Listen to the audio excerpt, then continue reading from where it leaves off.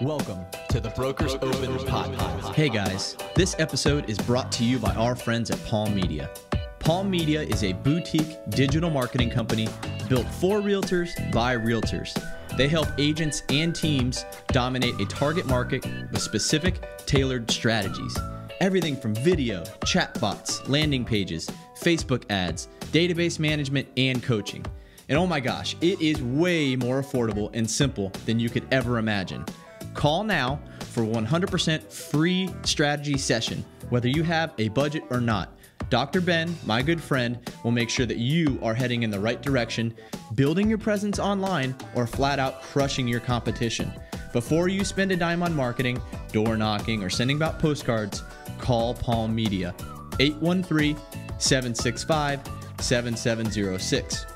813 765 7706 or click the link in the description below. Manifest your paradise. And we're back on another fabulous Friday, right? You know, I like Fridays regardless, just because usually it's been a hell of a week. Yeah. Um, but I love them every time. I know. Now, You know, I was gonna, I was gonna say, I mean, as if Friday needed any help to be a kick-ass day. I know. Along comes Brokers Open podcast, and the next thing you know, it's even more badass than it was before. here's the interesting thing about like podcasting and, and this whole journey that we've been on. I get so much energy and inspiration Yeah. and creativity and like positivity out of doing this. Absolutely. That it's worth every penny just personally. Yep. You know what I mean? Right. So that's why I like it. So you got me on, you got me on, on atomic, uh, atomic habits, right? Yeah. So I'm about three quarters of the way through that, and so, so what you just said, just you know, of course, the the cool thing is so much of what we're talking about and these people that we're dealing with triggers so many conversations and i love that. Mm-hmm. So you know the energy level you just talked about the energy level peaking up. So i can you know i can meet somebody i'm like oh man they would be fantastic to be on the podcast. And all of a sudden energy wise i'm in a different place because it triggers that cue like from atomic Yeah. right? So that all of a sudden I'm, I'm thinking of the conversations we could have and hey they succeeded at this and they did really well at that. That'd be great to talk about. And how many people would that help if we put that on display? Mm-hmm. Absolutely. There's so many things we get out of it. It's just friday is the culmination of that. Yeah. friday is the day that we're like holy crap that's you know here, here it is here's the day let's it's time to grow and go and all of that i, I love it If it wasn't Friday morning, maybe we'd think about like a cocktail hour podcast. Maybe we should consider that. wait a minute you're, you're not drinking right now Well, So, um, I have a disguise cup. So do you. oh yeah this is uh, coffee everyone Um, maybe we should maybe we should uh, twist some of our days to make it like a 4:30 or 5 o'clock podcast on a Friday. justin as fun as that sounds i think it's a bad idea Yeah, the things that might come out of that would Oh be. yeah, yeah. I'm, I'm I'm no good once I'm a little crowned in. Yeah, I've been to Vegas with you. Yeah, oh, right. yeah. See, that's how bad it is. I even forgot you were there. we were there the whole time, I forgot you were there. Like We uh, recorded hey. a podcast there. Uh, uh, yeah, yeah, that too. That's which is a great podcast. Everyone should watch. yeah, yeah. I'm gonna go back and watch it so I can remember what happened. The audio's not so good in it. All right, what are we Yep. talking about today? So Yeah. we got we got some good stuff on the plate. Um, talk to me. Yeah, so we had a so so you and I were, were having a discussion about you know how do we how do we help and you know how do we get a lot of people involved in making sure that they're contributing right. So we sent a survey out. You know we know a bunch of real estate agents. We've been doing this a while. So we sent kind of a survey out, and, we knew if we sent a survey with you know 96 questions, what's everybody going to do? Yeah, I don't have be time like, for that, eh, right? trash. So we sent a survey out, two questions. And the two questions were what do you wish you knew when you got in the business that you know now? And what is the biggest thing that has positively impacted your business? What are those two things that that uh, you know? How do you answer that question now compared to how you maybe even thought you would have answered it in the beginning? And so, you know, we sent it out to a bunch of people, really interesting answers. and we got a lot of them. Yeah. I, I, you know, I was, I was, you know, very grateful and surprised at how many responses back we got. Mm-hmm. We got them back from people that were brand spanking new in the business. That was like, you know, I don't know anything, but here's what I think I know. Yep. All the way to people that were one person was 40 years in the business and said, here's what, you know, here's what I wish I knew then that I know, that I know now. Yeah. And the responses. So there were some, there were some really cool things, right? But there was also like five main things that came up over and over and over. And it came up being said a different way, right? We knew from the responses that these would be important, and we've talked about a lot of them already. Yeah. But this kind of uh, this kind of just put it all into into into one place, right? Yep. So so we got the responses back. We took a look through those and everything. You and I were both like, oh yeah, time to do it. So Yep. we decided we'd come out here this morning and, and talk a little bit about this and go through it and everything. So so you know the the biggest things that uh, that we got back were were people that were were passionate about helping. Mm-hmm. All of the answers were peppered with people that like helping other people. Right. Everything that they said was, you know, if I did this, I could help more people, and if I if I'd have known this, I would have been able to help sooner and all that. So that part we absolutely positively loved. Yeah. And it was across all it was a, it was across all uh, you know real estate companies and all that kind of stuff. It wasn't like it was just one real estate company. Hey, this is how this company does this. Yeah. That's a big deal. And that's a big testament to, um, I would guess, I, I want to say real estate as a whole, Mm-hmm. um, because it's easy to see the dark side of things. And before we hopped on the podcast, we were talking about uh, different realtors that, you know, maybe part time or, or just get their license to, you know, do whatever. But, um, Well, you you said a great thing about new people getting in the business. Let's talk about that for just a second. You made a you made a really good point. You know, you used to, and, and I'm still I'm still crusty about this, right? Yeah. I'd love to be where you are with with this because you've got a great attitude about it. Mm-hmm. You know, I don't like it that a ton of people get in the business and they mess things up and they make us all look bad. Yeah. because they're just trying to to do one transaction or, or just sell their their own house and they didn't really get trained for it and it blows things up. That that still bothers me. Yeah. you've, you've got a great perspective on it. Yeah, so I when I first got into the business, I was extremely hell bent, kind of coming from the finance industry and looking at real estate from the outside in, going, you know, you can you can barely have a pulse and get a real estate license, and then the next day go and uh, represent somebody on their largest transaction. That is a scary thought. And for the longest time, and, and there, there are times that come back to me where there's a little bit of bitterness there. Right. But for, I would say, three years, I was um, hell bent on um, the idea of kind of half-assed realtors, and that that's the bad rap that the media kind of portrays realtors in. And, and we've I learned, realized, a lot of it. yeah, oh my it's god, It's not like it's been unearned. Some of it. yeah, I, I totally agree, and I think we can get into that. But barriers of entry need to be higher. Yeah. But um, the thing for me was a, like a mental switch in thinking about the way that I think about my industry. Because if I'm going to be working in this industry and if I'm going to succeed in this industry, to have this negative connotation about my own industry is a problem. Right. And I realized that, I internalized it, and I remember talking to colleagues of mine back in the day.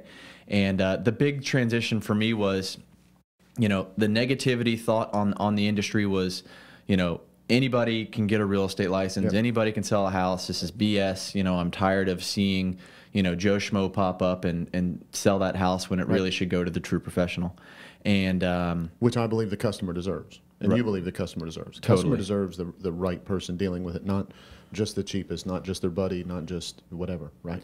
And this goes back to the way that like I want people to start thinking about every decision that they make in life, and that's it, it all starts up here. Whether you want to think about that half, you know, that glass half full or half empty, and that the transition for me was. Um, looking at those same people that I was disgruntled about being in the business and using that as fuel for myself as a competitive person, I said, those are the people I'm going up against in listings. Those are the people I'm competing with with buyers. And I, I, I at that point, it was so clear to me right then that, yeah, I'm going to eat this alive now because Yeah. not only I'm not I'm not working with Harvard grads, you know, on you know Right. whatever it might be, but what I'm sized up against on a daily basis, these people, you know, sometimes I'm impressed that some of them even know how to get Right, dressed they and show show up. up to work. they show up dressed to the appointment, right?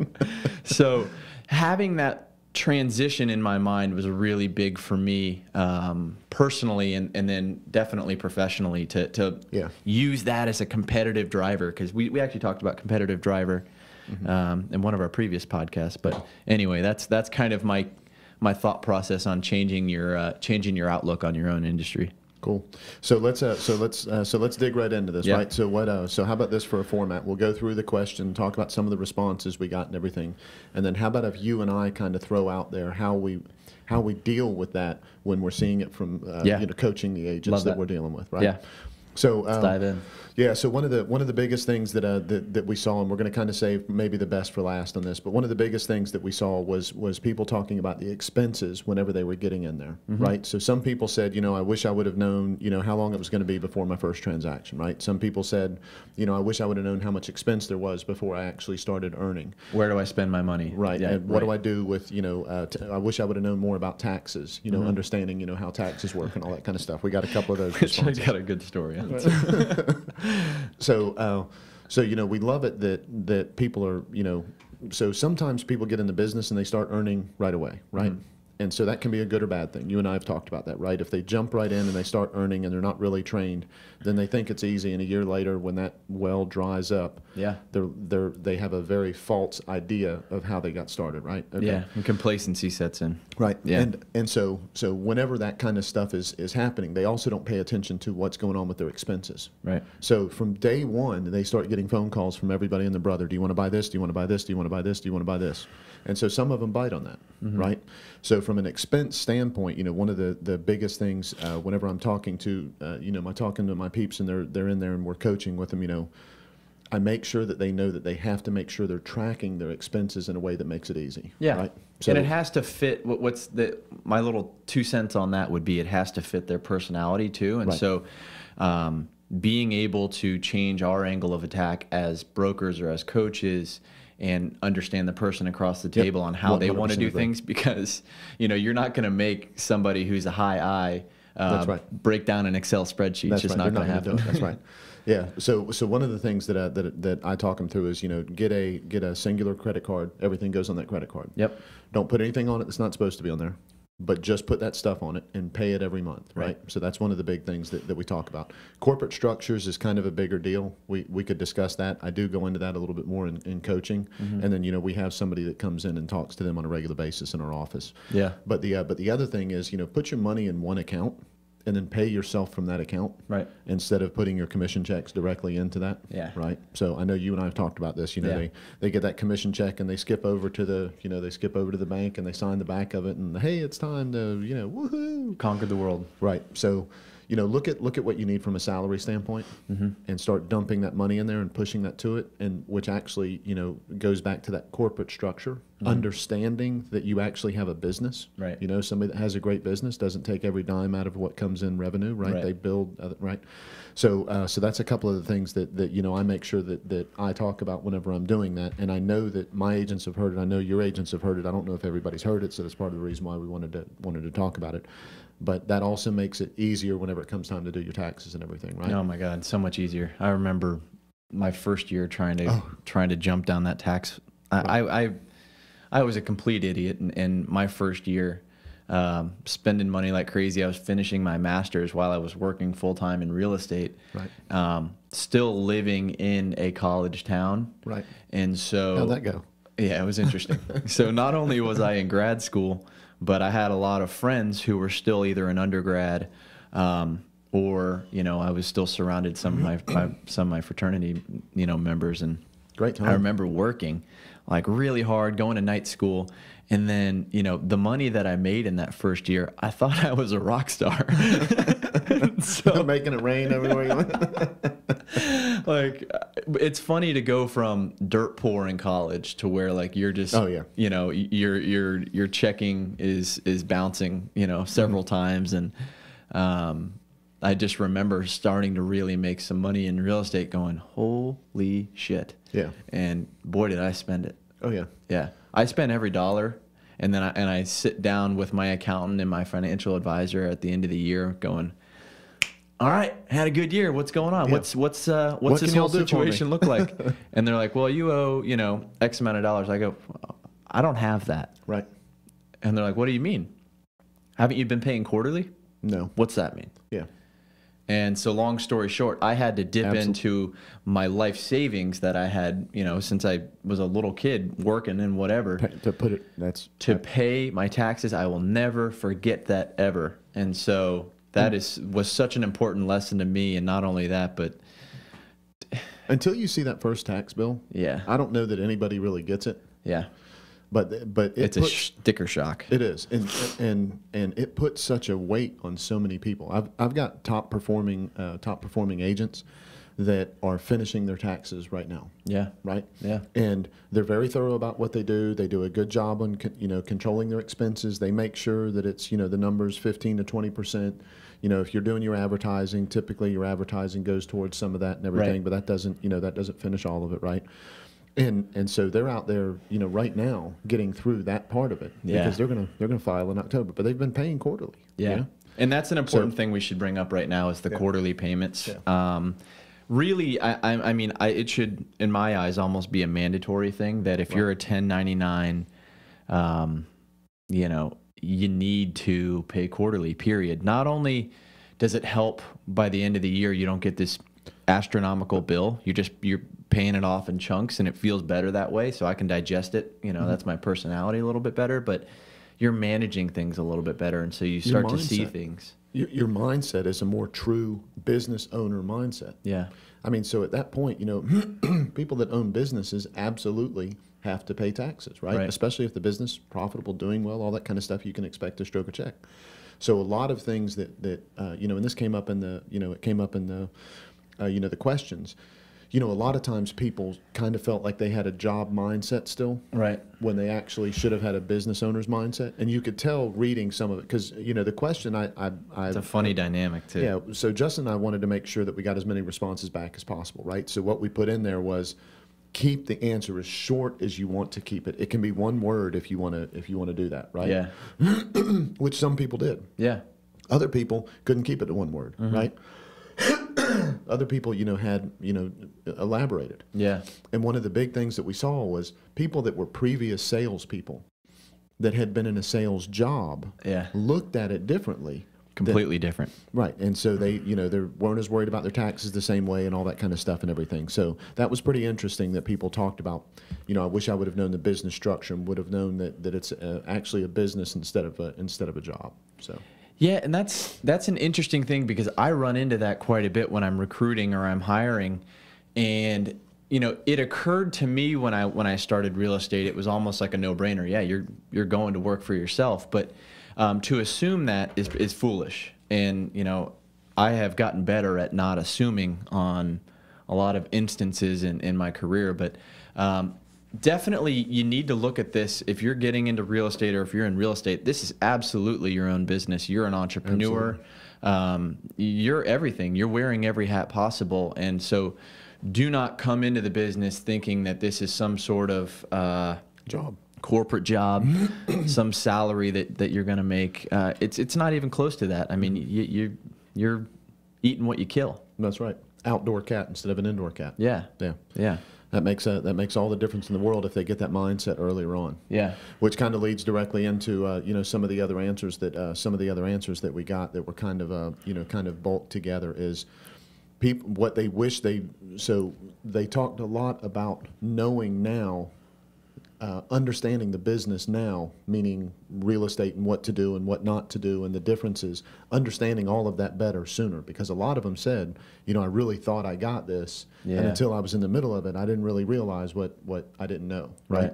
And so they talked about mentors and they talked about training and they talked about support. I'm kind of bundling all of that all that together, right? And so you and I have talked about mentors before, right? And I don't I don't know know that we see mentors exactly the, the same way, and I'd, I'd like to discuss that just a little Yeah. bit. So. Uh, you know, so the so the mentor part of it, you know, I have people ask me all the time, you know, do you have mentors in the in the office, right? And uh, I've got people that will help out with all the little pieces of what you do. Here's what I'm most afraid of with uh, with mentors, is if if I push somebody off to a mentor, right? The things that they learn how to do really well that the mentor does really good, they grab onto that, they love that, they bond with the person, they connect with them, they learn. But the things that the mentor doesn't do well, Yeah. They pick up those bad habits they don't even immediately. realize. Yeah. right? They don't even know. They don't know what they don't know. Osmosis. Right. And so, you know, I, I like having a bunch of different people that agree to help out with a bunch of different parts Yeah. that they're really good at and they're passionate about versus one size fits all Right. is how I, is how I look at that. Now, if you've got the right mentor, that's all the difference in the world. And I know that's the frame that, that you come from with this is if you got the right person, Yeah. they're gonna they're gonna take you that whole next level. Right. Right. I mean, it ta- I think it takes a, a really mature and uh, you know business proven mind to see somebody day in and day out on a mentorship basis and really seek to take the positive but at the same time i mean some of my life my best life lessons from mentors or people that i considered mentors at that time um, was picking up on their failures and, and understanding where those downfalls are and, and, and where that would going to lead them in the future. Just because somebody's successful doesn't mean that they have a whole list of, right. of, of troubling issues. But um, I- I'll, I'll be honest in saying that's why I like um, one-on-one mentorship programs is because it is the good and the bad. Right. And I like that authentic real life Yeah. feeling to it. And if you're able to understand and and um, you know communicate and learn from the good and the bad of that mentor, you're going to be that much better. Because I I I agree. personally I agree with that 100%. I grow more on my failures than I do my successes. And if I'm with a mentor, I'm going to grow more by seeing us fall Right. than you know than than the rise. So so how do we say that whenever we're coaching? So part of part of the conversation whenever I'm whenever I'm coaching with people is you know some people just say hey I really want to sit next to somebody I don't want to go on my first listing appointment I want to go on two of them before. So some of that is personality, right? Uh, some of that is you know confidence. You know competency breeds confidence, right? So Yeah. they want to be competent with things before they. So I always have the conversation with them. Your eyes have to be wide open on everything as a whole, right? you'll There's- miss it. That's right. And uh, and I think if people, you know, if they take a step back on a regular basis and look at that, I think that they're going to be okay. Yeah. But other, you know, sometimes people don't do that. Yeah. And if they don't do that, they, then they end up in a, in a situation learn because so I, I you know I'm the I'm the other end of that. There's there was habits that I learned that I didn't realize. Oh, that- I'm guilty of that. Yeah, and and so you know, I, we picked things up, and you know, the the situation I was in, I just kind of trusted that that person was was doing the the right thing in the real estate business. And there was a couple of things that I learned that I had to that I had to unlearn. You know, whenever Yeah. I whenever I started to swim. So, but you're, exa- I mean, I think you hit the nail on the head. That helped me grow, and now I have a perspective that I think I can help more people with because I can see both sides of that see both sides of that coin. Yeah. And so that's what I try to get across whenever I'm coaching is, you know, if you are working with a with another coach, if you're working with a mentor, if, if you're working with me, it's not like I, I don't make mistakes and it's not like I don't screw Totally. things up. Yeah. So so go go get a different frame of reference. Go go pick some other things. Don't just grab onto that one mentor. Don't Yeah. just grab onto that one person and assume that they just because they're successful, that everything that they do will make you successful. Right. And so that was a you know whenever they talked about training, that was a big part of what they talked about. I wish I would have known which training to take. And that's the thing. So when you get a mentor, I would be really, really careful in who you pick as your mentor because um, we know plenty of really successful real estate agents. Um, you know, we're around you know success all the time, and what makes one agent successful and how they do their business and what makes another agent successful can be completely Absolutely. different and one of them is not right and one of them is not wrong That's right. but what you need to do when you're looking at a mentor is that mentor needs to fit your personality type and where you're actually, um, you know, comfortable breaking outside of your comfort zone, and at the same time comfortable going down that path. Um, so that's that would be my two cents there because if you're not um, able to, to to grab a mentor that has your same personality traits or or the person that you want to be, then I, I do think that you are maybe wasting time or, or setting Yeah. yourself up for failure because, um, like I said, so many people do business so many different ways, and there's a million ways to Six, yeah. your idea of quote unquote success. Yeah, I agree. Yeah. So, uh, so uh, I would I would absolutely uh, suggest that everybody out there has a tra- uh, training journal that they keep. Yeah. Which classes did you take? How'd you like it? What was the main thing that you got? Put it all in a in a book like this. You know, go to the class, get your powerpoints or whatever it is. Go to your coaching session. Go to your mentoring. Get all of what normally they hand uh, they hand out to you. And then go back and condense that into a singular place, right? If it's something that you can't get to and there's not time to get it figured out right now, put a star next to it. Go back and revisit that on a regular basis, but journal your uh, journal your education.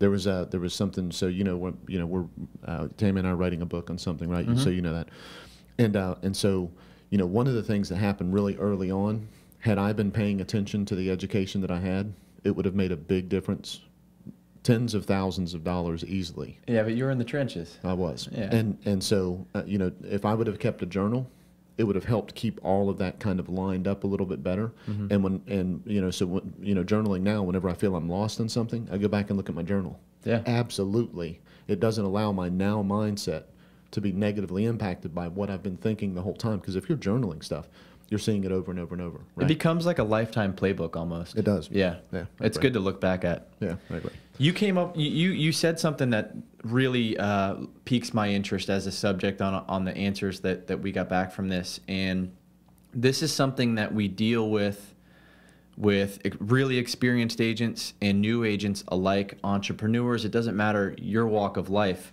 but this is something that we work with all the time: is confidence Yeah. and and where does confidence come from um, how are you how are some people you know able to be confident right out the uh-huh. get-go so i want to i want to talk a little bit on confidence and and how much that will mean in your real estate Yeah, career absolutely. It's a great. It's a especially starting out Yeah, fantastic topic. Yeah. and and I think a lot of what the, a lot of the answers that they got. That's a this is a really good point, Justin. That a lot of the answers that we got back were pe- uh, people dealt with things a certain way because they weren't confident in their in their in how they were dealing with it, and so they kind of got scattered. They, they went all over the place. So uh, so what I said just a second ago was competency breeds confidence, right? Yeah. So and and so there there's people that can be really confident in something because they think they're doing it right and they're not. Right. Okay. So happens happens all the time. I'm going to go back to the go back to the karate days, and uh, so, you know, there there was people that got into martial arts and and got their black belt, and whenever they got their black belt, they literally stopped their learning because that was the that was the end of what right. Yeah. And so you know, a black belt is is typically the beginning. Yeah, It's sure. not the, it's not the end, right? Sure. And uh, you know, most people, the public, all that kind of stuff, thinks that, that that's like the end all be all. That just means that you've mastered the basics well enough. That's where a black belt came from. It got so dirty because you it was holding your pants up, right? Right. So it got black because you practiced so much. So now you know the basics, and now it was time to now it was time to move forward. Mm-hmm.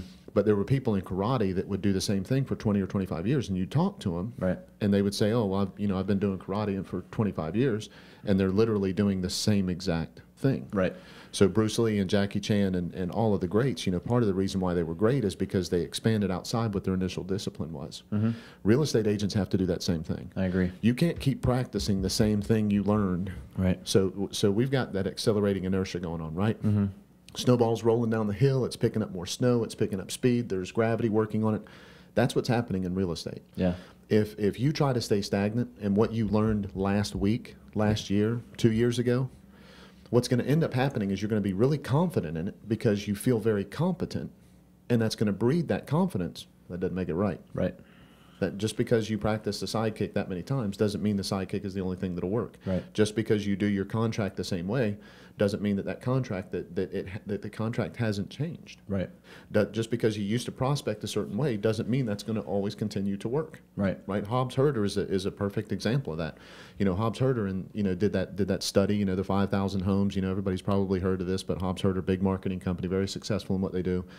You know, sent you know had people door knock a whole bunch of doors, and then said, "What's your top favorite you know real estate agent? Who would you use?" They gave a whole bunch of names. There was five people that were up at the top. They mailed some stuff out for two months. You know, consi- really consistently. Came back, knocked on the doors. The number one person was somebody that Hobbs Herder made up right wasn't even a real real estate agent, but mm-hmm. everybody was saying, "Hey, that's who I would use," and that's right.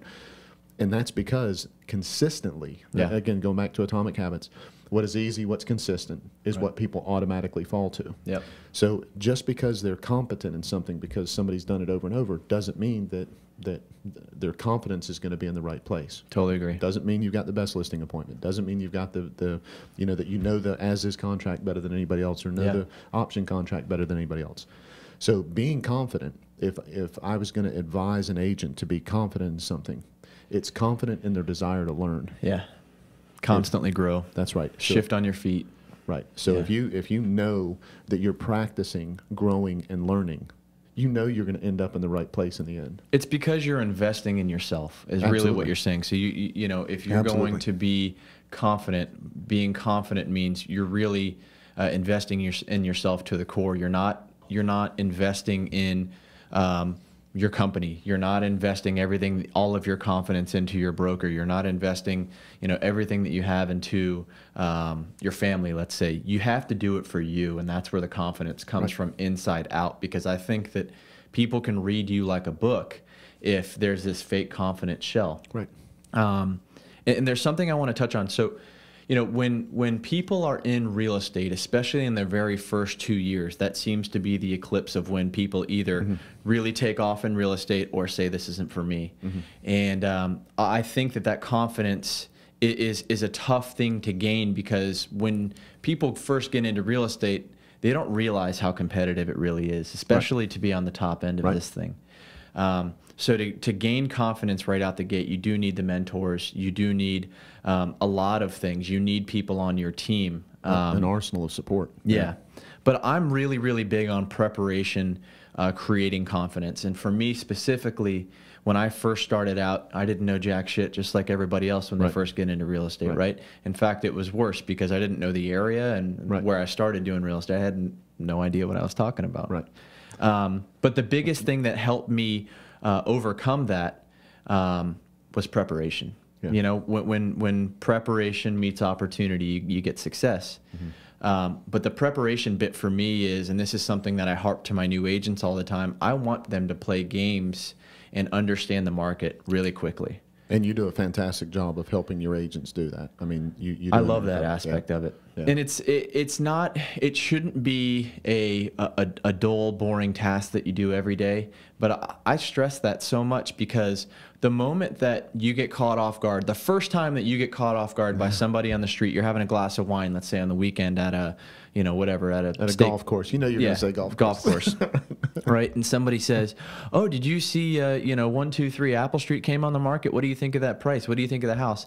And you're sitting there blindsided by that question. The fact that that consumer knows more about your Oh, yeah. your backyard than you do. I promise you, it'll take you one time to realize that's never going to happen again. Right, and then your confidence crashes. Right, Completely. You, have a very hard time of getting that back in that person's eyes. You have a very hard time of that. So, so whenever uh, you know, I have agents ask me all the time about CMAs. Right. Yeah. So there's like 98 different tools that you can buy.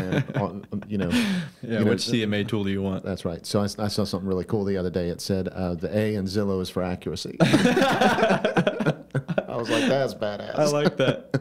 I just blew my mic out. so I like the, uh, that.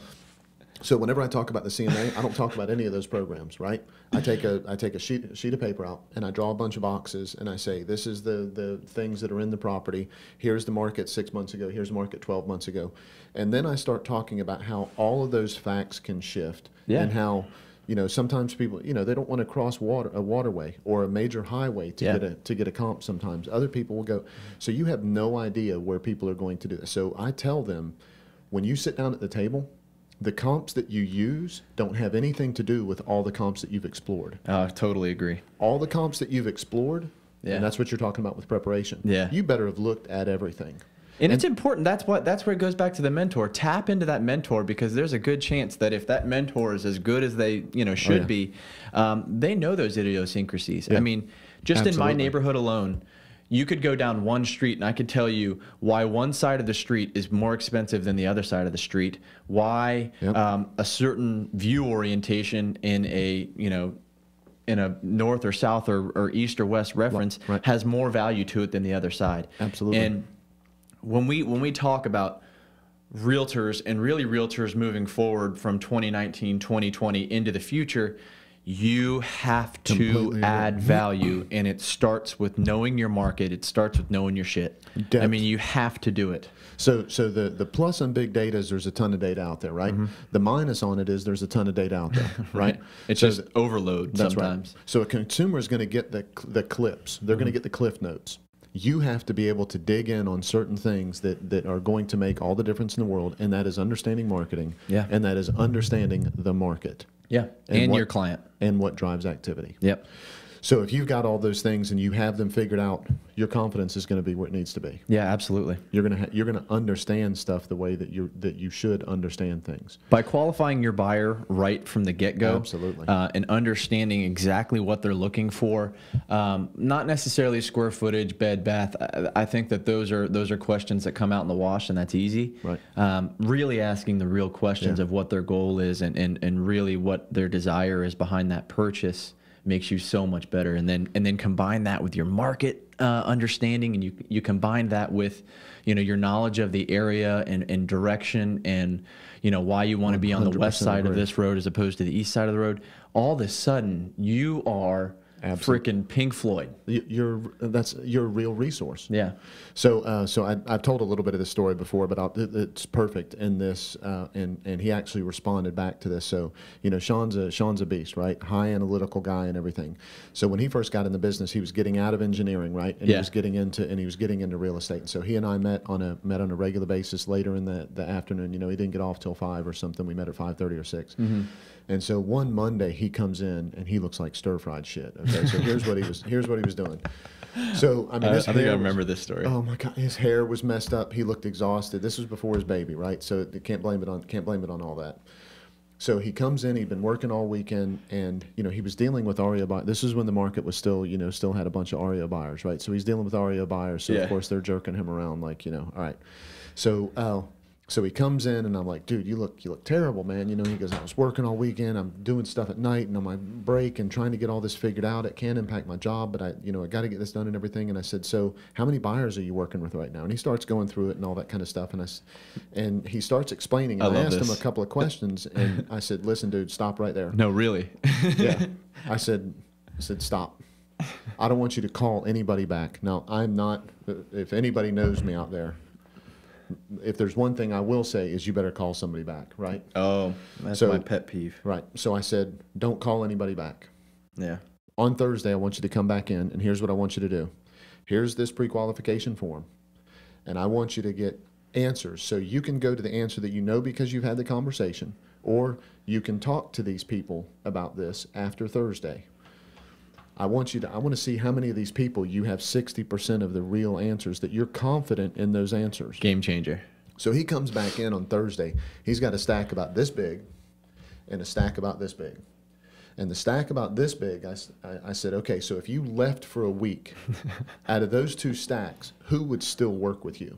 And he said, these people. And I said, how many of these people do you have? He said, that's like 70% of them or better, or I've got it filled out and I'm confident in the answers. And I said, okay, Yeah. what about that other stack? He said, they won't call me back or they won't give me the answer. And then they call in the middle of the day and they this and they that and all that kind of stuff. And I said, okay, who's burning your time up? Right. These people? Right. Or this big stack of these other people? what a And he- cool epiphany and, and so he he was like, it's this group of people, and this, and so whenever I'm saying it like this, is it's it's kind of a little bit off because all these papers were folded and crunched and all that kind of stuff, and this was all a clean little pile because this was easy to get the answers because they had a real connection. he's on the phone with the other people crumpling the paper up. what do you mean you got to meet me in ten minutes? From that point on, tire kickers from that point on, Sean pre-qualifies like a beast. Yeah. When he says he has a transaction, he has a transaction. Yeah. When he says he has a buyer, he has a buyer. yeah And so from that point on, whenever I saw him, it was probably a month after that that he was able to transition. How long was he in the business before until you had this conversation? Oh, so uh, he he about twelve or thirteen months is when he transitioned, and this was a month and a month and a half before he transitioned. Okay. So he had been working hard, Yeah. two jobs, with REO buyers Yeah. for ten months, eleven months. That that exact same thing happened to me. I remember uh, just beating my head against the wall. All I wanted to do, if you were willing to get into my car, I was going to show you houses. I was going to show you houses. And I pray we can write an offer. and baby, we'll deal about we'll we'll work the offer later. But I am in real estate. I have you in my car, and I'm going to show you 35 homes if you want to see 35 homes. I shit you not. I spent my whole, I would say my Holy first cow. eight months just. You want to hop in? You don't look like a killer, or somebody that's going to hurt me. Maybe not. Maybe not a killer. right. uh, let's go. Right. And I'll I'll never forget. I showed some this couple in Bonita Springs. I, I can still see their faces. God bless them. Kind of. Right. Um, I showed them 26 homes, and then like that was like a weekend. By the way. Like Wow. Like really grind grinded Wow. that thing out, and then they just ghosted me, and they never bought anything. And that, that to me was okay. I got to get a little bit more tactful on who I choose to be my clients, and understand in real estate you can pick your clients. It's Absolutely. not clients just picking you. It is a uh, it is a relationship. It is a consulting business. But uh, the quicker you understand and are able to qualify buyers and sellers, and this is somebody where you need to lean on with your mentor, uh, the quicker you're not only going to be more successful, but um, your confidence is going to grow because I, I promise you, your confidence will plummet if you just stick anybody who you know wants to go look at houses in your car and go look at houses, it's it's just going to happen. You're just going to feel like there. Some people are life sucking vampires. Yeah. Right. And so the reason why we put them in our car is because uh, as things are happening, we get into that scarcity mindset. Right. So Oh. let's talk about scarcity mindset and abundance mindset. totally. There is an abundance of people that want the services that you offer, whether it's real estate or you're a mortgage guy or you're a contractor or you're a fitness guy or whatever, whoever it is. If you're doing the right thing, there is an abu- there's seven billion people, right? Mm-hmm. There's an abundance of people that want to do business with you, and you can succeed at a really high level if you focus on the people that match what you're looking for and you truly offer what's best for them. There's a ton of people that want to work with you. Do not think you got to put somebody in the car. Do not think that you've got to get jerked around by somebody just because they made the promise that one day they're going to buy a house from you, but yet they won't tell you who the lender is that they're pre-qualified with Yeah. and they won't tell you the you know what the price point of the house is. Don't worry, I've got that figured out. Man, just move on. Yeah. Nicely move on Yeah. And your confidence will skyrocket. Because Totally. what's going to happen is Totally. you're going to spend that time, like those stack of papers, you're going to start spending those time on those people, and those people are going to convert, and those people are going to refer other people, and Yeah. those people are going to connect with you in a way that they want to help you with your business because now you're able to spend that time with them, and everything just explodes from there. There is an abundance of great people that want to work with great people. There is not a scarcity of them. There's there's an interesting thing about I would say the majority of people out there and how our mind works, and I, I think that a majority of people in the world, period, want to be quote unquote busy. Oh, Okay, I agree. And there's a big difference between being busy and being successful. Yep. Okay, you can spend your whole life being busy. Right. And I know plenty of people that do it. And so this is something that I hammer into agents. I hammer into people who uh, are in mentorship roles with me in and outside of real estate. Oh, yeah. Do not focus on being busy. Busy is just going to drive yourself crazy. It's a mental game to yourself, and a lot of things are going to go wrong. Absolutely. Do not confuse activity with accomplishment. Boom. And uh, and again, Atomic Habits goes into that. Yeah, goes big time. quite a bit. I, I Yeah. just great book. We could Great we book. could dive into that that pretty uh, Oh, pretty yeah. deep. Yeah, that would be Um, that would be an hour easy. but uh, stop focusing on being busy all hours of the day, all minutes of the day, and really strategize and have a game plan for moving forward. And, and all of a sudden, uh, your lack of um, need to be busy will Yeah. all of a sudden fuel your life. And then you're going to have pockets of your day and pockets of your week where you're able to spend time with your kids and your family and you're going to go exercise you're going to be able to go see the sunset and you're going to be able to go have dinner because you are on purpose not on accident Right. And and so you you just you hit on a, on a great point to that. You know, so when you talk to people about their money, do you like spending your money or do you like investing your money? people say all the time they'd rather invest their money, right? Sometimes Yeah. they want to spend some of it, but they want to invest. but they're talking out of their mouth of that That's right. and and the reality is they they do the same thing with their time, which Yeah. is what's more important than money, right? Time. Yeah. And so, what do people do with their time? Do they spend their time or do they invest their time? Right. If and, and it's not like it's no fun if all you do is invest, Yeah. right? So you can't just invest all of your time, all you know, all, right? But but you can't just spend all your time Sure. all the time either. there's a delicate balance there And and so so it's- we're going to take it one more step than that, right? Mm-hmm. So I hear parents talk all the time, and, and I'm one of them, right? I hate it when my kids spend my money in a way that I wouldn't spend my money. Oh, right? Totally. Yeah. Yeah. like getting a six hundred dollar speeding ticket. anyway Right. So we're not pointing anybody out no, we're not going to point anybody out. So, but they spend my money. So I think, man, I could have done something investment wise better with my with my money. But yet I let people spend my time just as frivolously instead of investing my time. Yeah. Right. So so you know I, I think you know confidence. You know we, we started on confidence on this. You know the the big thing on confidence is. If, if you're truly competent in what you do, if you're doing it the right way, if you're really paying attention and being intentional with what you're doing, you're not going to waste your time. You're going to you're going to invest it.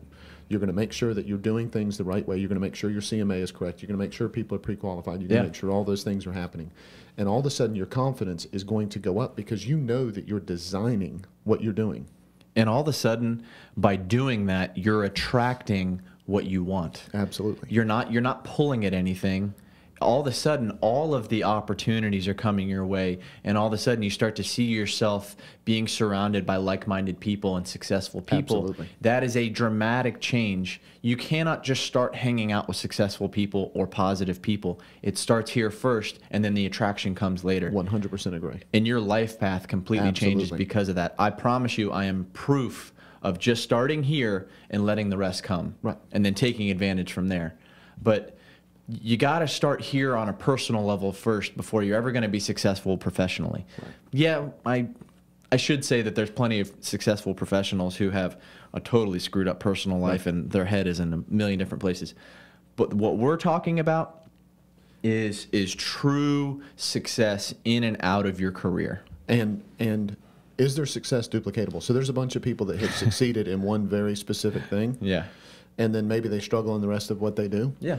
And then there's some people that have succeeded wherever you take them, wherever you put them, they're going to land on their feet. Right. Those are the ones that you have to take a look at and say, okay, how did they how did they do that? What's And going on there? Right. And it's because they're intentional. You know, I mean, Yeah. we know that. The people out there know that. We just want to make sure that we're uh, we just want to make sure that we're reiterating the, the importance of that.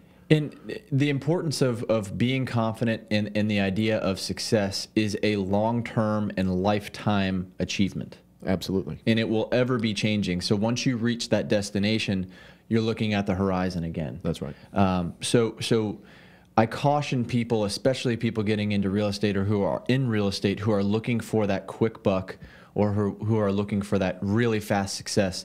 I promise you, the people that I know that rose the quickest um, are not around anymore. Right. And, and I have a couple uh, friends or, or colleagues that I used to be agree. with. Yep.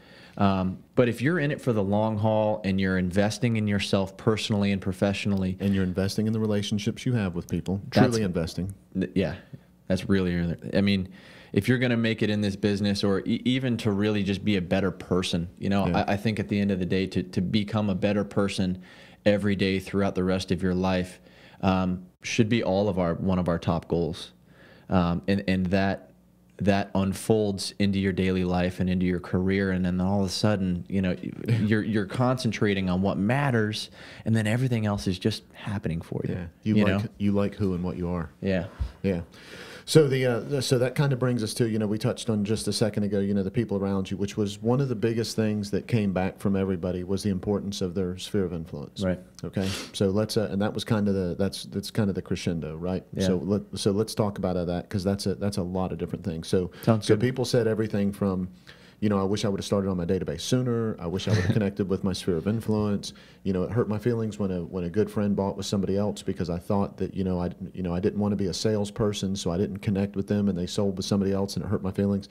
There there was a lot of all of that that happened that all centered around the people around you and how connected were, were they with your business. yes And uh, and so there was there was a uh, I would say a third of the answers maybe and this is me guessing I didn't I didn't do the math on this but but from a guessing standpoint a third of the answers talked about database or sphere of influence yeah from experienced people. Here's what here's what I noticed. New people did not talk about that. People that were six months or a year in the business were not saying, I wish I would have worked on my database sooner. Right. Right. So yesterday in a coaching session I was talking to somebody and they said, you know, my business it's it's moving along, you know, decently and everything, but you know, I'm kind of struggling with, you know, getting going in my prospecting in the morning because we talked about how important that is in the morning and everything, and and they said, you know, I'm I'm just struggling with that a little bit, and I said, well, do you do you know why you're struggling with that a little bit? You've got transactions going and things are happening. Do you do you know why you're struggling with that? And they said no, and I said because if you miss, you know, the other the other parts of your day are, are pre-qualifying and presenting, right? And then mm-hmm. you got administrative stuff you do. So there's prospecting, pre-qualifying, presenting, and administrative crap. Right. Prospecting, pre-qualifying, and presenting is about 80% of your day. Mm-hmm. Admin's the other 20%. If you do it right, it's less than that because you're outsourcing it. Anyway, with pre-qualifying, if you're doing the right job and you're having those questions, things come up that are reminders during your day that say, "Hey, don't forget about me. Hey, don't forget about me." Right. right? right If you're presenting, things come up. You know, hey, don't forget about me. Hey, don't forget about me. You know what prospecting does? Prospecting will sit in the corner and go, shh, go do everything else. Yeah. When you get ready, It's so true. I'll be right here. that couldn't be more true. I'm Those not other moving. things, that's right. I'm not doing anything. If you want to forget about me, forget about me. and and you will. But pre-qualifying and presenting, that's not what they do. Oh no. You- there's there's things that pop up. There's there's automatically reminders. There's automatically your transactions moving. Automatically you got to get easier to digest, yeah. that's right. And so it's easier to spend that time on it. And, and right. So I said I said so. Tell me about the people in your sphere of influence. One of the examples I use all the time is. If your mom or your dad or your best friend or your brother calls up right now and says, I really I just signed the paperwork with somebody else to, to buy or sell or whatever through through someone else. I didn't realize you were in the business. Are you going to feel like it was your fault or their fault? Take ownership of that thing. So if if when they get to the point, so after a certain amount of time, every agent that's successful that has made it is always going to give you the same answer. Man, that's my fault. Yeah. newer agents, people that are just beginning in sales, that's not how they look at it because they give the same they give the same cliche. I don't want to be looked at like a salesperson. So there's nothing wrong with being a salesperson as long as you're not using your superpowers to take advantage of other people. Get very well trained, do a great job, and help people do what they want to do in a high at a high level. Yeah. It's it, just starts it starts inside again, and we're gonna just gonna go back to that Yeah. because if Same you're if you're owning up to your business and saying, okay, I'm either doing the things that I'm supposed to be doing or I'm not. It's really that simple. Right. And uh, I, I would say a majority of people, you know, have an issue with owning up to to those things because really that's an honest. Um, Yeah. type of game that you It's have to play with yourself, and nobody wants to be truly honest with themselves because No. then it's like So it's more fun to lie. it's abrasive. Just lie to Yeah. yourself about it. I, I was. and then ask yourself if you can get off the hook. Yeah, I'll let you off this time. It's toxic, though. I It mean is. that that is a 100% that is a cancer. If, if you surround yourself with people, or right now there are family or friends around you that don't own up to their own, you know, BS. If if they don't own up to their successes and failures. Um, there's an issue there, and I promise you that is way more contagious than the other way. Right. Right. So you know when when you're around somebody that really owns up to everything, oh my gosh, that's such a great role model, Yeah. and that is a, that's a great way to look at things. And all of a sudden, you start getting all that positive energy. But innately, as a human being, the easiest thing that you can do is go the other route, and and that because it is easier. That's the primal brain. We're, we're not It's even going to get. easier. I know we're not. We, we don't even need to get into that primal brain thing, right? I was sitting at dinner with some people the other night, and I said, I said, yeah, and the primal brain, and this is why humans and this, and, and for like thirty seconds, I just Yeah. went like this, ah, jumped Yeah. off the cliff with it. It's And, uh, harder. it's harder to own up to things, and it's easier to pass the buck. It Stop is. passing the buck. There are too many agents that I know personally that pass the buck, blame everything on the market, blame everything on exterior factors, and I'm going, wake up, man. This is so toxic. It's it brings everybody down in the room. You can feel the oxygen get pulled out Yep. of the room. Stop that right now. If you want to succeed, look around you. Absolutely. Look around you. So the uh, uh, so uh, so lines of code, right? So it takes a whole bunch of lines of code in order to, to run a program. Yeah. Okay. So every second of every day since everybody was born, they're absorbing lines of code. They're looking around, they're seeing the you know the lights and the everything, and they're seeing you sitting next to them at the table and all that kind of stuff, and they're absorbing those lines of code. Those lines of code being around those people that are not positive, whether you like it or not, you are absorbing those lines of code to run in your program. Hardwiring you. So the the bad news is those lines of code are always there, right? You don't get rid of them. The good news is joyful, abundant-minded people. That code is exponentially more powerful than any negative code that you can that you can have. Yeah. It, it takes one line of code of that to override a bunch of other lines of code, as long as you want to be that way. Key. As soon as you want to be that way, those codes will absolutely override. New neural pathways are created, and all of a sudden you look at everything in a different light. But you have to make that conscious decision to do it. Yeah. You got to focus on the morning on doing the things that you need to do. Change isn't easy. It is. It is not. And I mean, and that's, that it'll be the hardest man. thing people do is change, and, and you got to constantly change and constantly grow. But it, that is life's struggle is continuing to grow, and that is the best part about life too. At the Right. same time, I mean, it If is the yeah. hardest, grittiest thing that you can do is continue to grow and continue to be better. But man, is that fun? It is. Yeah. If you let it. Yeah. Yeah. So the uh, so the database part of it, you know, people you know talked about you know getting in front of and getting in touch with and how hurtful it was whenever people made decisions that they wanted to help Right. that they weren't able to help. So the uh, so the other example that I use about you know why is it important for you to connect with uh, with the people that you know you know you need to connect with is when things go wrong. And so people always say, I don't want to, you know, I don't want to be the pushy salesperson. I don't want to be the person that you know is calling my family and saying, "Hey, do this" and all that kind of stuff. When when the shit hits the fan in their transaction, they're going to call you, Yeah. and you're not allowed to help. Yeah. You need to stay out of it. At that point, you, they have hired someone else to do that. Yeah. You can't just jump back in and start helping. Don't put your cape on and swing in like Tarzan and decide you're going to help Yeah. now that it's too late. Yeah. When when things don't go the way that they're supposed to, they're going to look at you like a family member. Have them look at you on the front end. Be confident. Be competent. Do know what you're supposed to know, and then help them out. If you don't, don't help them. Right. Right.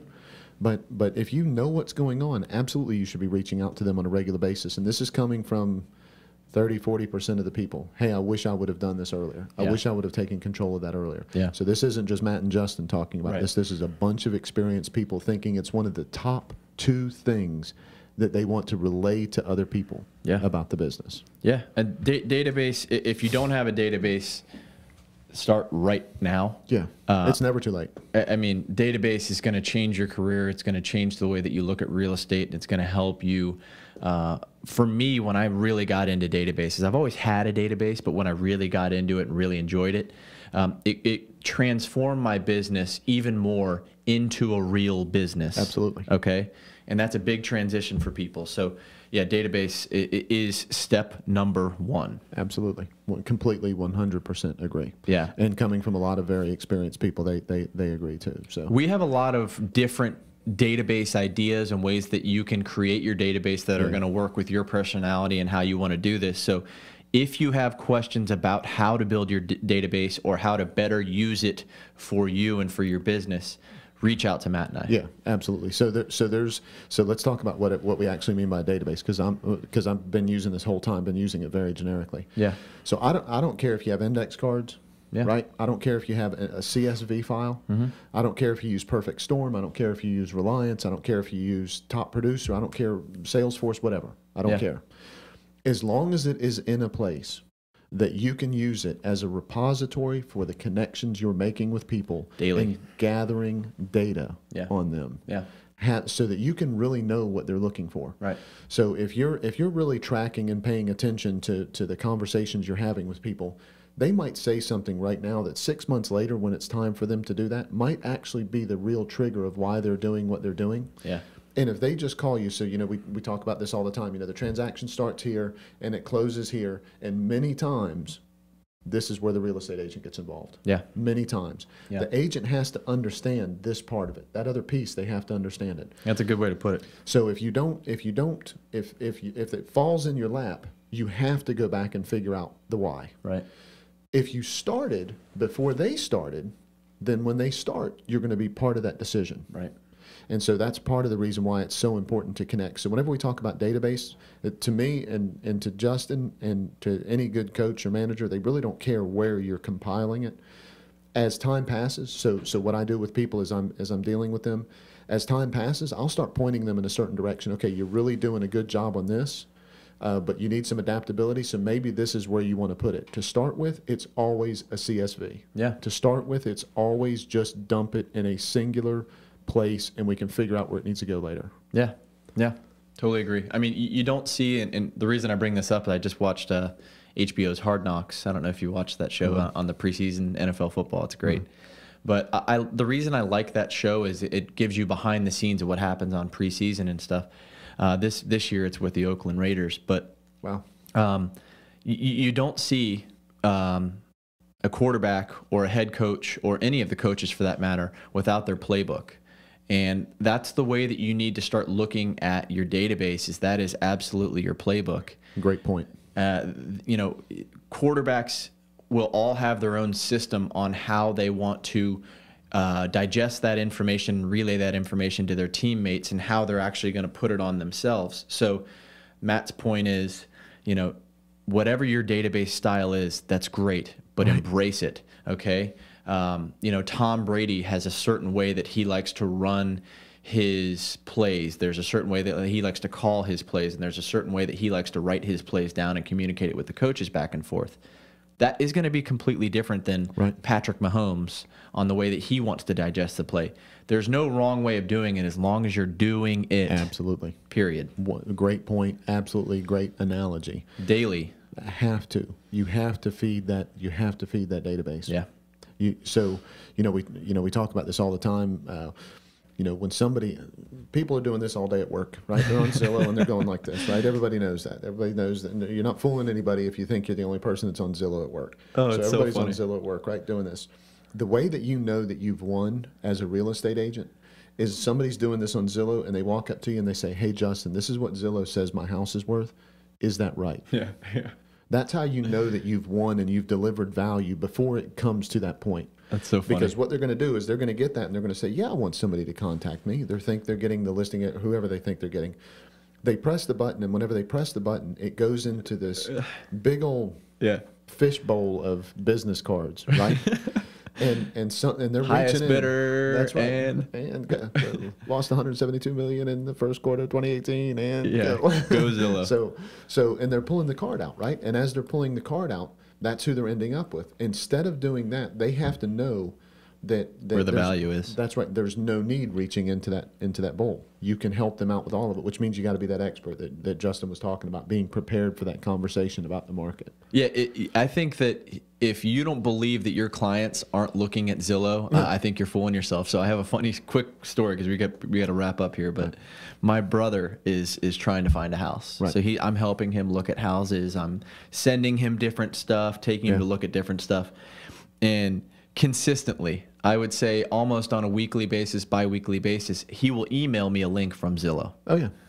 And like I'm the one sitting behind the microphone here, and I crack up when my brother sends me these Zillow links. I'm like, bro, get off Zillow. Stop. I got you. That was a house I sent you two weeks ago, but you just didn't look at it. That's right. So anyway, I just had to say that. Shout out to you, I bro. absolutely love it, and that is such a uh, that is a micro of what's ha- that's a macro of what's happening micro. Yeah. Or it's a micro of what's happening macro. You know what I mean? Yeah.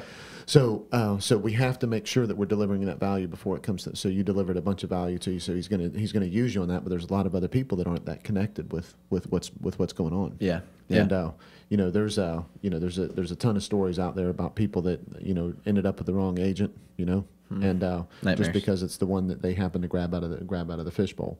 So, so if you want to be that right person, you got to make sure you're staying in touch with your database. You got to make sure that they know that you're there and you're a resource long before you need it.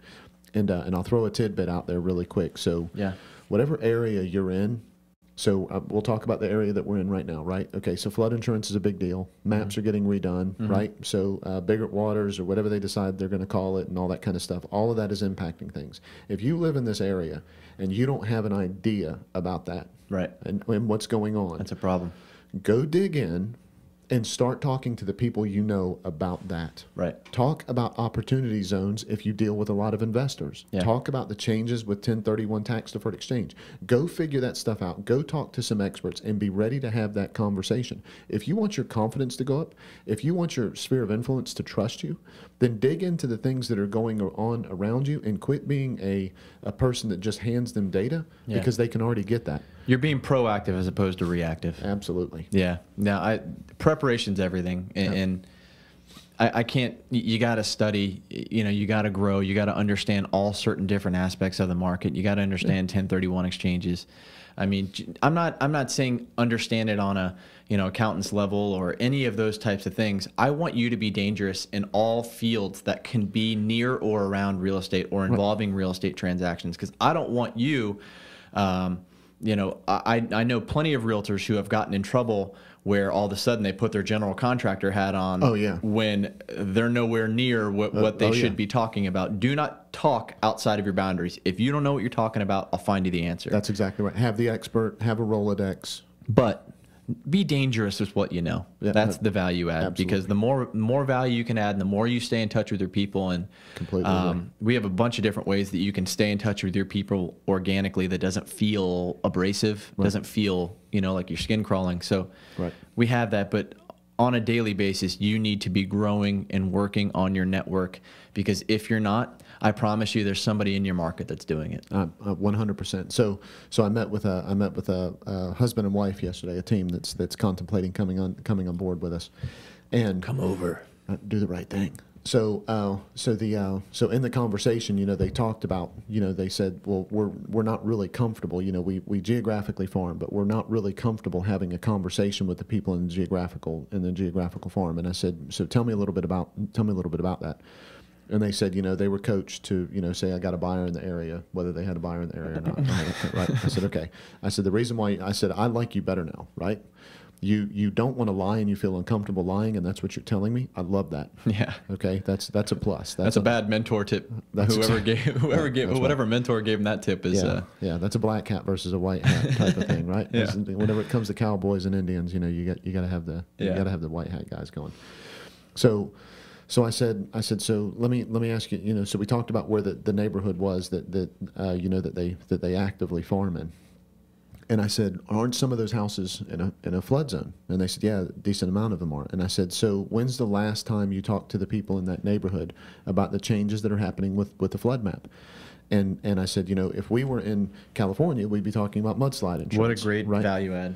And I said, so, so, you know, have you go find? There's great information out there. Contact the, the county. Talk Yeah. to a friend that's an insurance person. Talk, get somebody that knows what they're doing. Get some information and mail it out. And then all you got to do, don't call up and say, "Do you want to buy and sell a house?" I got somebody that's looking in your neighborhood. Yeah. Call up and say. Hey, there's some stuff going on with flood insurance. I'm in real estate. I, I want to be a resource for all of this. If you've got any questions about what I sent over, please, you know, please let me know. And the whole time, which I love this, the whole time they're scratching in their book. It's awesome. Yeah, you and, get and they're not good new in the business, right? They're not new in the business. And I'm like, how has somebody not had this conversation with them? You How- don't know what you don't know, and I, I'll be honest in, in saying that I, I have been in real estate offices and brokerages where I didn't have the support, um, where I was, it was the blind leading the blind. Yeah. Um, you know, and I'm guilty of, of staying in a culture like that uh, for too long when I was starting out in my career. But Right. um, anyway, yeah, I mean, I, I can't stress having the right support team around you. I mean, when you're in real estate, you, you need to you need to look at investing in yourself, and that and that starts with with where you work. Right. I agree completely. Cool. So right, we love it. So we we've had some uh, you know this will this will time and date stamp this a little bit, but there's there was some really tragic things that happened this week Yeah. with uh, with shootings. You know, of course, our thoughts and prayers go out to uh, go out to all of those people. Yeah. And uh, you know, there's uh there, there's an opportunity to be political in this. We would both urge that you don't. Yeah. This is about caring about the the victims, and it's about caring about how to make this kind of stuff not happen again by us being responsible in our own neighborhoods. right? Yeah. And love So- the people around you. I mean, it, it- right. too much hate is being spread right now, and uh, I'm just tired of seeing the headlines with all the hate and all the toxic bullshit that's going Yeah. around. You it's know, horrible. grab your friend, grab your family member. You know, be thankful just to be breathing air right now. I mean, that's that's a gift in and of itself that we have just to be sitting here on this wonderful Friday morning. But you know, really, we got to look at life through a different lens. Yeah. Yeah, there's, there's some bad people in this world, and there's some bad things happening in this world, but that doesn't mean that you have to be dragged down with it or be a part of it. That's right. Please just stay away from that crap. Yeah, yeah. So, all right. So, as always, Podcast Friday. We love it. We'll Peace talk out, to you guys soon. Later.